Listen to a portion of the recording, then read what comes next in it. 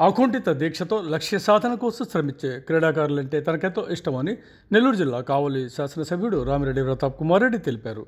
విక్రమసింహపురి విశ్వవిద్యాలయం స్థాయిలో degree PG విద్యార్థులకు వివిధ ఆటల పోటీలను ఆయన ప్రారంభించారు. కావలి పట్టణంలోని జవహర్ భారతి కళాశాలలో మంగళవారం ఉదయం ఉత్సాహభరితమైన వాతావరణంలో ముందుగా క్రీడా జ్యోతి వెలిగించి క్రీడాకారులు పరిచయం చేసుకుని పోటీలకు శ్రీకారం చుట్టారు. ఈ సందర్భంగా సభలో విశ్వోదయ వ్యవస్థాపకుడు డాక్టర్ దొడ్ల రామచంద్రారెడ్డి చిత్రపటానికి నివాళులు అర్పించారు. అనంతరం ఎమ్మెల్యే మాట్లాడుతూ తాను కూడా క్రీడాకారుడునైనందునే జీవితంలో ఎన్ని ఆటుపోట్లు ఎదురైనా తట్టుకొని నిలబడి తన లక్ష్యాన్ని చేరుకోగలిగానన్నారు. Vishwodaya director Vinay Kumar Reddy principal Malyadri physical director Prasad Reddy అధ్యాపకులు కృష్ణప్రసాద్ రమణ సుధాకర్ రెడ్డి స్థానిక వైఎస్ఆర్ కాంగ్రెస్ పార్టీ నాయకులు పెనుమల్లి అశోక్ పుల్లా శ్రీనివాసరెడ్డి ప్రభాకర్ దామిశెట్టి సుధీర్ నాయుడు తదితరులు వీరితో పాటు పాల్గొన్నారు.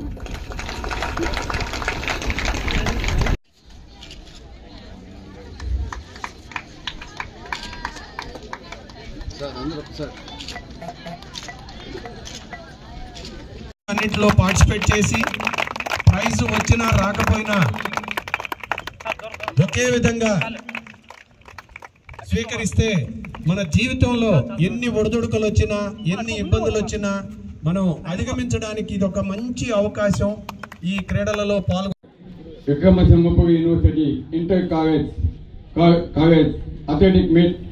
and women and games for men and men two thousand twenty three twenty four open కావేటిని స్థాపించి అప్పట్లో అన్ని వసతులతోటి అంటే ఈ రాష్ట్రంలోనే అప్పట్లో ఇన్ని ఫెసిలిటీస్ ఎక్కడ ఉండేవి కాదు. ఒక వెంకటేశ్వర యూనివర్సిటీ మనకి ఉంటే ఆ తర్వాత ఉండే కావేరీ ఏదంటే జవహర్ భారతి ప్రసిద్ధి కాంచింది. దరిదాపు అప్పట్లో ఆల్మోస్ట్ వంద ఎకరాలు ఇటువంటి కావేరీ ఉండటం. ఆ కాలేజీలో అన్ని అటు చదువులోను ఇటు ఆటగాను అటు ఎన్సిసి ఇతర కార్యక్రమాల్లోనూ కూడా ప్రసిద్ధిగాంచింది మీరు చూస్తున్న వెనక ఒక పెద్ద వాదం చూడండి వెనక. అది ఫైరింగ్. అంటే ఎన్సీసీ వాళ్ళు ఫైరింగ్ కూడా నేర్చుకునే దానికి అప్పట్లో అది కట్టింది. అప్పట్లో ఆ వెనక రోడ్డు ఉండేది కాదు అడివి ఉండేది. ఆ విధంగా అన్ని ఫెసిలిటీస్ ఆ రోజు ఆలోచించి కట్టారంటే నిజంగా డిఆర్ గారు ఎంత గొప్ప వ్యక్తో ఒక్కసారి ఆలోచించండి. ఈరోజు ఆయన పెట్టిన ఈ విద్యాసంస్థలు అనేక మంది ఇంజనీర్ అయ్యారు డాక్టర్స్ అయ్యారు పైలట్స్ అయ్యారు ఐఏఎస్ అయ్యారు ఐపీఎస్ అయ్యారు నాగాగా పొలిటీషియన్స్ అయ్యారు అంటే ఈరోజు ఈ కాలేజీలో మేము చదువుకోబట్టే ఒక క్రమశిక్షణ నేర్చుకోబట్టే ఇక్కడ మాకు నేర్పింది చదువు ఒకటే కాదు. చదువుతో పాటు ఇక్కడ మాకు ఈ టీచర్స్ కావచ్చు పెద్దలంతా ఇక్కడ కూడా క్రమశిక్షణ నేర్పారు.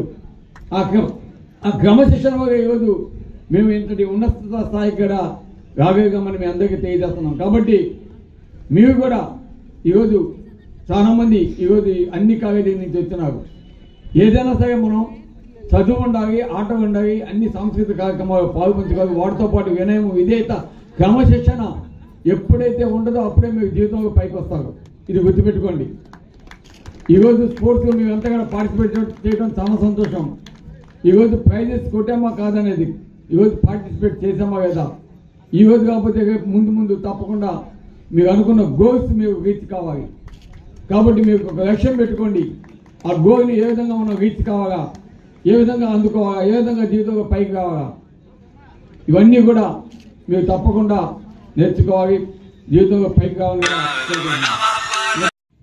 ఈ విధంగా మీ యొక్క ప్రతిభని కనపరిచేదానికి ఈరోజు ఒక మంచి సదవకాశాన్ని గౌరవ ముఖ్యమంత్రి ఇవ్వబోతున్నాడు దీనికోసం ప్రైజ్ మనీ దాదాపు పన్నెండు కోట్ల రూపాయలు ప్రైజ్ మనీ ప్రకటించున్నాడు. కాబట్టి తప్పకుండా ప్రతి ఒక్కరు కూడా ఎందుకంటే మీరు ఒక కాలేజీలో చదువుతున్నారు మీరు ప్రతిభని బయటికి తీసేదానికి మీ కాలేజీలో స్పోర్ట్స్ పెడతారు. కానీ పల్లెటూరులో కూడా చాలా మంది చదువుకున్న ఉంటారు చదువుకోని వాళ్ళు కూడా ఉంటారు. వాళ్ళు ఆ ప్రతిభ ఉండొచ్చు. అటువంటి వాళ్ళలో ఉన్న ప్రతిభను కూడా బయటికి తీయాలి మనం. మన దేశానికి మంచి పేరు కావాలంటే చదువుకునే కాదు చదువుకొని యువత యువకులు కూడా ఆ ప్రతిభను బయటికి తీయాలి మనం అని చెప్పి ఈరోజు ఆ అవకాశాన్ని కల్పించేదానికి ఈ స్పోర్ట్స్ ఆడుదాం ఆంధ్రాని పెడుతున్నాడు. ఈ సంవత్సరం మొట్టమొదటిగా ఆ కార్యక్రమాన్ని మన ఆంధ్రప్రదేశ్లో పెడుతున్నాం.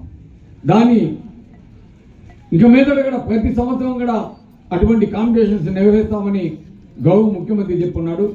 అదేవిధంగా ఆ కాంపిటీషన్స్లో పార్టిసిపేట్ చే- చేసిన వాళ్ళందరూ కూడా అక్కడ దానికి సంబంధించిన కిట్స్ అన్ని కూడా ఆల్రెడీ వచ్చేస్తున్నాయి. మీ మీ గ్రామాలన్నిటికీ వచ్చేస్తున్నాయి. కాబట్టి మేమంతా కూడా ఈ స్పోర్ట్స్ ఎట్టా మీకు అయిపోతే రెండు మూడు రోజుల్లో తర్వాత మీరు కూడా మీకు అవకాశం ఉంటే తప్పకుండా ప్రతి ఒక్కరు కూడా దీన్ని ఎంకరేజ్ చేయండి. యువతగా ఉన్న ప్రతిభను బయటకు తీసేదానికి ఇది మంచి అవకాశం కాబట్టి చదువుకున్న మీరు మీ మీ గ్రామాలకు వెళ్ళి అక్కడ ఉన్న యువతి యువకులను కూడా ప్రోత్సహించండి. వారు ఉన్న ప్రతిభని బయటికి తీసేదానికి మీ యొక్క సాయశక్తిగా మీరు కూడా కృషి చేయండి. తప్పకుండా మన ఆంధ్రప్రదేశ్ భారతదేశంలో నెంబర్ వన్గా ఉండటమే కాకుండా రేపు అంతర్జాతీయ పరంగా కూడా మన పేరు పోయి అక్కడ మెడల్స్ కొట్టాలని మనం కోరుకుందామని కూడా తెలియజేస్తూ ఈరోజు నాకు ఈ అవకాశాన్ని ఇచ్చిన పెద్దలు గౌరవనీయులు వేదిక మీద ఉన్న మన రెక్టర్ సోదరు వినయ్ కుమార్ రెడ్డి గారికి ప్రిన్సిపల్ గారికి పెద్ద సుధాకర్ అన్న గారికి అదేవిధంగా చంద్రకాయ గారికి మా సోదరుడు నాగార్జు గారికి ముఖ్యంగా ఈ కార్యక్రమానికి దగ్గర నుండి చూస్తున్న ప్రసాద్ రెడ్డి గారికి అదేవిధంగా మణి గారికి ఆ సహచరులు అందరికీ అదేవిధంగా టీచింగ్ మరియు నాన్ టీచింగ్ నాన్ టీచింగ్ స్టాఫ్కు అందరు కూడా ప్రతి ఒక్కరికి పేరు పేరున ధన్యవాదాలు తెలియజేస్తున్నా. యాక్చువల్గా చెప్పాలి